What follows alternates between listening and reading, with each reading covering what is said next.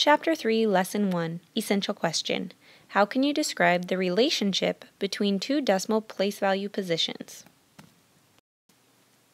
For this investigation, you need three different colored pencils and a straight edge or ruler. Thousandths are smaller parts than hundredths. If one hundredth is divided into 10 equal parts, each part is one thousandth. That is a vocabulary word for this lesson, thousandths. Use the model at the right to show tenths, hundredths, and thousandths. You will walk through this with me, and this is the model at the right. Right now we are only using the bigger square. It says, divide the larger square into 10 equal columns or rectangles. Columns go vertically up and down. Shade one rectangle. Do that. Press pause.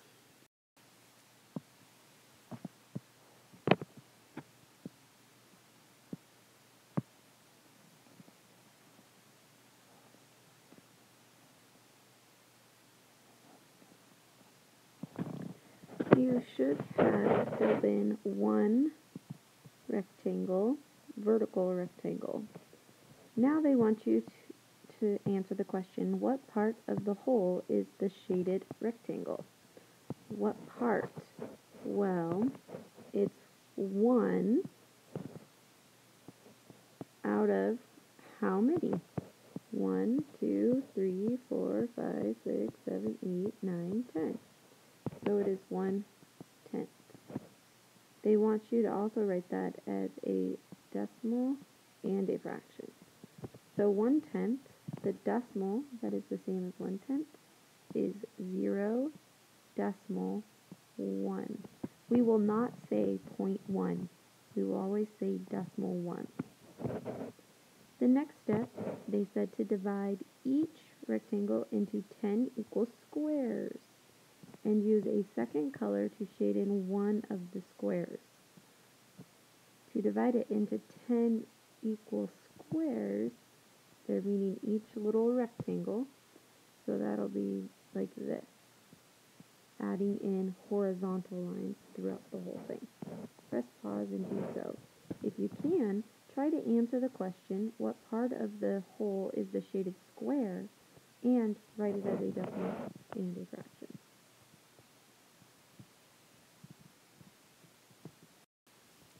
What part of the whole is the shaded square?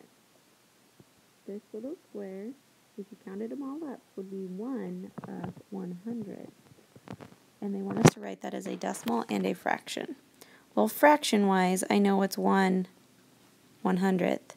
So in decimal-wise, I need to have a 0, a decimal. It is not a tenth, so a 0 and a 1 for 1 100th now we're going to be working on our new place value within the decimals. Divide the enlarged hundredth square into 10 equal columns or rectangles. That's this square right here. These little lines show that they're enlarging this little square. If each hundredth square is divided into 10 equal rectangles, how many parts will the model have? So if each of these little squares were divided into 10, how many parts would it have? So if you think about it, there is 10 here and a 100 little squares. So 10 times 100 equals 1,000 parts.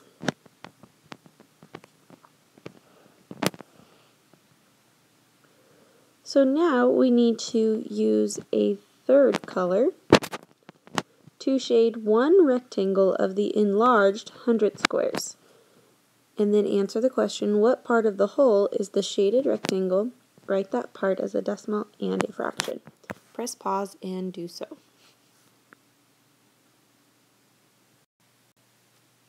I shaded mine blue right here. So, what part of the whole is the shaded fraction? And when it's talking about the whole, it's meaning this whole. So, it is 1 out of 1,000. And as a decimal, that would be 0, decimal, no tenths, no hundredths, and 1 one thousandth. Turn your page over, draw conclusions. Explain what each shaded part of your model in the investigation section shows. Shaded part, the ones that you colored. What fraction can you write that relates each shaded part to the next greater shaded part? So there's two different things to do here. There's to explain and then to say a what fraction you can use to relate them. The model shows one tenth, the first rectangle that we shaded, one one hundredth, one square, and one one thousandth, this little rectangle within the hundredth square. And each shaded, par shaded part is blank of the next larger shaded part. What fraction can you use? Well, every time we went to color something, we created how many more rows or columns? 10. So we can say that each shaded part is one tenth of the next larger shaded part. Identify and describe a part of your model that shows one thousandth and explain how you know. One of the ten rectangles within the enlarged hundredth square shows one one thousandth. That's the third one you colored. If each hundredth was divided into 10 equal parts, I would have 10 times 100 equaling 1,000 parts. Each rectangle is 1 1,000th of the whole. The smaller rectangle, the third one you colored, is 1 1,000th of the whole. Make connections. The relationship of a digit in a different place value positions is the same with decimals as it is with whole numbers. You can use your understanding of place value patterns and a place value chart to write decimals that are 10 times as much, or one tenth of any given decimal.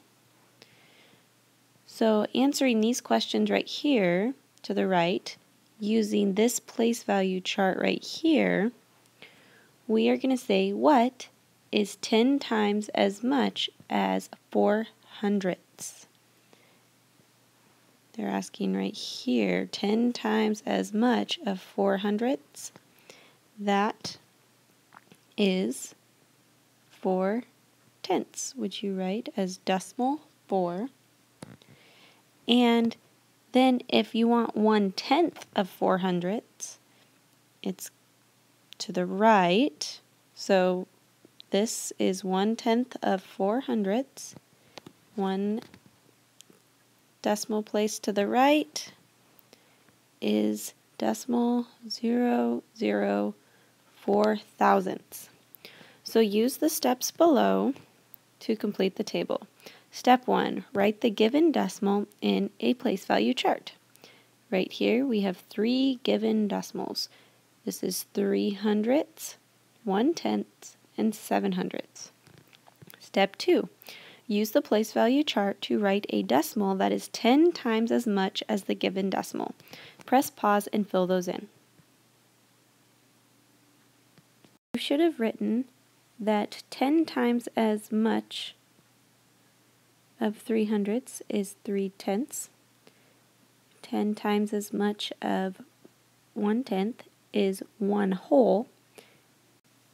And 10 times as much of 7 hundredths is 7 tenths.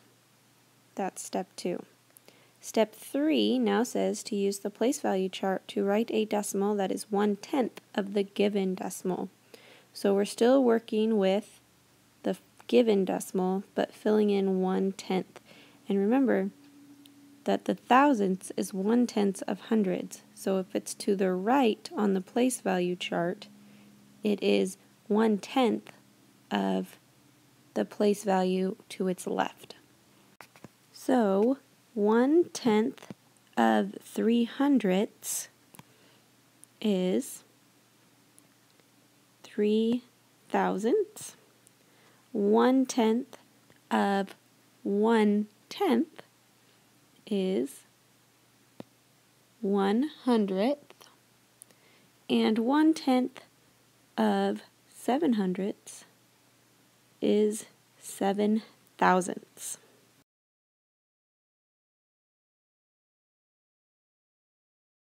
Keep your prism on yellow and work through the share and show problems. That is this entire page, including the tables. Press pause while you work. Keep your prism on yellow. Press play when you are ready to check answers.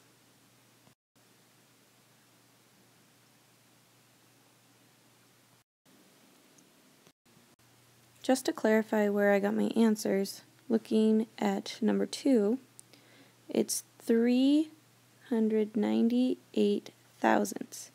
The three is in the tens place. There's one, two, three full vertical columns, and then nine hundredths. There is nine little squares, hundredth squares, and then eight of the thousandths rectangles, so 398 thousandths.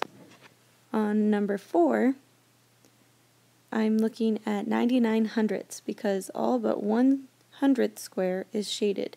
No thousandths, so I didn't even put anything at the end. If you did want to write a zero for thousandths, it would still be considered correct. Continue on to check the bottom part of share and show.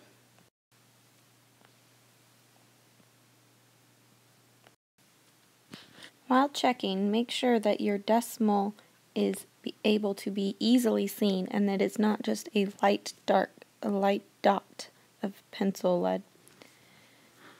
If you got 100% on share and show, you may move on to on your own. If you missed any of 1 through 8, watch the lesson again.